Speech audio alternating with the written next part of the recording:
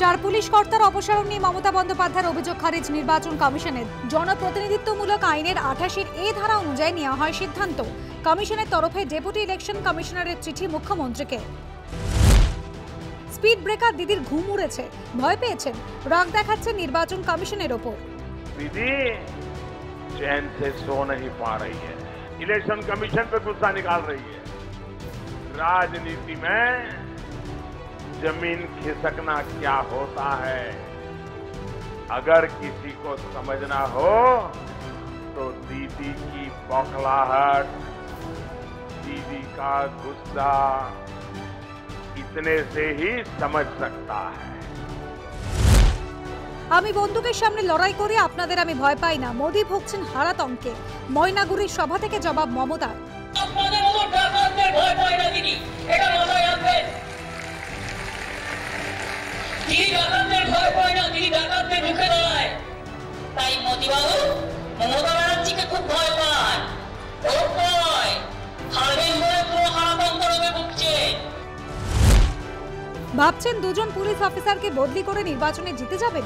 সব অফিসারই আমাদের অফিসার পাল্টা জবাব মমতার। ভাবছেন দুজন পুলিশ অফিসারকে সরিয়ে দিয়ে নির্বাচন জিতবেন? ওগুলো বলি সব অফিসারই আমাদের অফিসার এটা রাখবেন।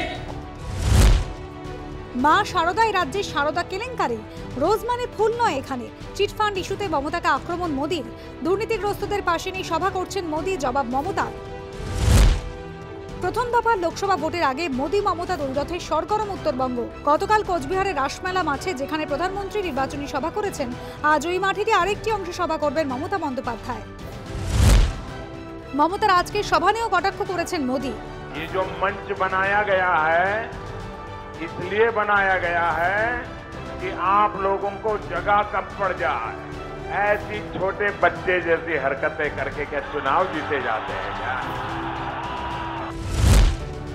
আগামী দিনে তৃণমূলে দিল্লিতে সরকার গঠন করবে বাংলায় বিয়াল্লিশে বিয়াল্লিশ শাসন পাবে তৃণমূল আলিপুর দুয়ারে ফালাকাটায় নির্বাচনী জনসভায় দাবি মমতার আগামী দিনে যাবে বাংলায় সরকার গঠন করবে বিয়াল্লিশে পেয়েছে জলপাইগুড়ি জেলা সার্কিট বেঞ্চ আমরা তৈরি করেছি। প্রধানমন্ত্রী এসে নাটক করেছেন। ওরা না দিয়েছে জমি, না দিয়েছে টাকা, ওরা ধাপ্পা দেওয়া ছাড়া কিছুই করেনি। ময়নাগুড়ির জনসভা থেকে মোদীকে আক্রমণ মমতার।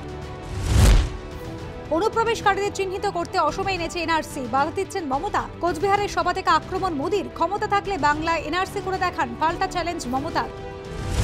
বারাণসী থেকে নরেন্দ্র মোদীর বিরুদ্ধে কি প্রার্থী হচ্ছেন প্রিয়াঙ্কা গান্ধী? যদিও এ বিষয়ে এখনও কোনো সিদ্ধান্ত হয়নি বলে জানিয়েছেন কংগ্রেস নেতা রাজীব শুক্ল। তবে প্রিয়াঙ্কা নেতৃত্বে দল উত্তরপ্রদেশে ভালো ফল করবে বলে আশা প্রকাশ করেন তিনি।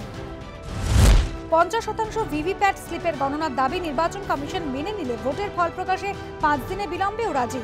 সুপ্রিম কোর্টে হলফনামা দিয়ে জানালো তৃণমূল টিডিপি, আপ, সমাজবাদী পার্টি সহ একুশটি বিরোধী দল। নির্বাচনী প্রচার সেরে ফেরার সময় কেশপুরে দিলীপ ঘোষ, ভারতী ঘোষে কনভয় আটকানোর চেষ্টার অভিযোগ তৃণমূলের বিরুদ্ধে। বচসা থেকে ধস্তাধস্তি পরে পুলিশের হস্তক্ষেপে পরিস্থিতি নিয়ন্ত্রণে।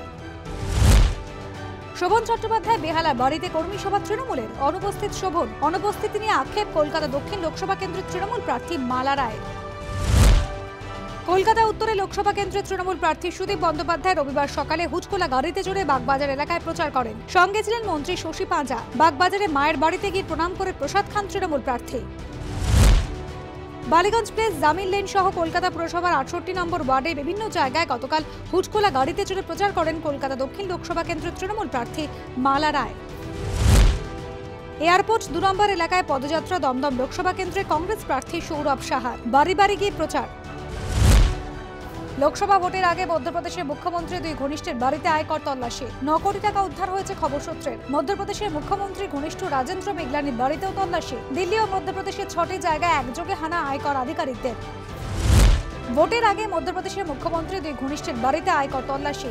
কমলনাথের ঘনিষ্ঠ প্রবীণ কাক্কারের সহযোগে অশ্বিন শর্মার বাড়িতে তল্লাশির সময় রাজ্য পুলিশের সঙ্গে সিআরপিএফ এর বচসা। গড়ালো হাতাহাতিতেও। লেকটাউনে ড্যাফোডিল নার্সিংহোমের আইসিসিউ হয়ে জানলা দিয়ে ঝাঁপ দিয়ে মৃত্যু রোগীর। জানানো হয়নি রোগীর আত্মীয়দের অভিযোগ পরিবারের। তদন্তে লেকটাউন থানা পুলিশ মুখে কুলুপ নার্সিংহোম কর্তৃপক্ষের। দীর্ঘদিন ধরেই টার্গেট ছিল বৃদ্ধা ফ্ল্যাট। দেওয়া হতো হুমকিও নেপথ্যে প্রভাবশালীর হাত। যোধপুর পার্কে বৃদ্ধা খুনে নয়া তথ্য। ধৃতদের সতেরোই এপ্রিল পর্যন্ত পুলিশ হেফাজত। নিউ দিল্লি ভুবনেশ্বর রাজধানী এক্সপ্রেসে রাতের খাবার খেয়ে সকালে অসুস্থ বত্রিশ জন যাত্রী। রেল কর্তৃপক্ষ অসুস্থ যাত্রীদের চিকিৎসার ব্যবস্থা করেন খড়গপুরের হিজলি স্টেশনে। কয়েকজনকে হাসপাতালেও ভর্তি করা হয়।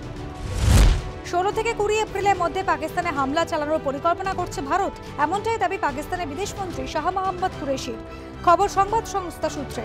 পুলওয়ামায় জঙ্গি হামলায় চল্লিশ জন সিআরপিএফ জওয়ানের মৃত্যুর পর থেকে দুদেশের সম্পর্কে অবনতি হয়েছে।